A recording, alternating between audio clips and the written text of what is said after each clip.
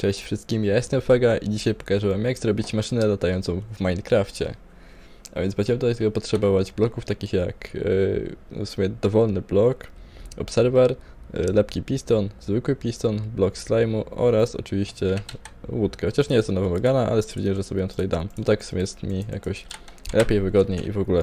Yy, zaczynamy od zbudowania takiego zwykłego prostego słupa z naszego dowolnego bloku. Stawiam następnie obserwer, niszczymy ten blok tutaj. Yy, stawiam tutaj zwykły piston, slime bloki, w ten sposób jak ja.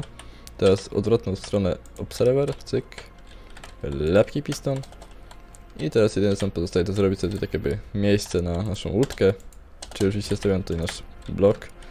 E, Dlaczego w tym miejscu? Ponieważ on w tym momencie jakby dotyka się z y, slime blokiem, dzięki czemu ten blok będzie jakby poruszał się razem z całą tą konstrukcją.